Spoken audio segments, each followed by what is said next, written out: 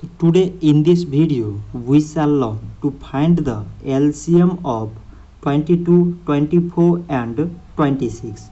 So these all numbers are divisible by 2. 2 times 11 mean 22, 2 times 12 mean 24, 2 times 13 mean 26.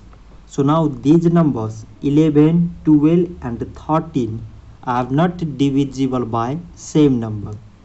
Therefore, its LCM is equal to from this side it is 2 from this side it is 11 12 and 13 so by multiplying all these numbers we get 2432 so 2432 is the LCM of 22 24 and 26 so this much for today and thanks for watching